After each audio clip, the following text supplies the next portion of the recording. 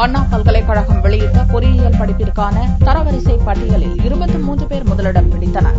தமிழகத்தில் ஐநூற்று முப்பத்தி எட்டு பொறியியல் கல்லூரிகள் உள்ளன. இதில் அரசு ஒதுக்கீடாக இரண்டு லட்சத்து அறுநூற்று ஐம்பத்தி எட்டு இடங்கள் உள்ளன. இந்த இடத்திற்காக அண்ணா பல்கலைக்கழக கலந்தாய்வுக்கு விண்ணப்பித்தவர்கள் ஒரு லட்சத்து ஐம்பத்து நான்காயிரத்து இருநூற்று முப்பத்தி எட்டு பேர். இவர்களுக்கான ரேண்டம் எண் ஜூன் பதினைந்தாம் தேதி வெளியானது. இந்நிலையில் வெள்ளியன்று கட் ஆஃப் வாரியான தரவரிசை பட்டியலை அண்ணா பல்கலைக்கழக வளாகத்தில் தமிழக உயர்கல்வித்துறை செயலாளர் அபூர்வா வெளியிட்டார். இதில் இருபத்தி மூன்று பேர் இருநூற்றுக்கு இருநூறு கட் ஆஃப் மதிப்பெண்கள் எடுத்து முதலிடத்தில் உள்ளனர். இந்த வரிசையில் கோவை கீர்த்திபாலன் என்ற மாணவி முதலிடத்தையும் நிஷாந்த் ராஜன் இரண்டாம் இடத்தையும் முகேஷ் கண்ணன் மூன்றாம் இடத்தையும் பிடித்துள்ளனர். வரும் ஜூன் இருபத்தி எட்டாம் தேதி விளையாட்டு பிரிவினருக்கும் இருபத்தி ஒன்பதாம் தேதி மாற்றுத்திறனாளிகளுக்கும் ஜூலை ஒன்றாம் தேதி பொது கலந்தாய்வு நடக்கிறது. விண்ணப்பித்த அனைவருக்கும் இடம் கிடைக்கும் என்று எதிர்பார்க்கப்படுகிறது.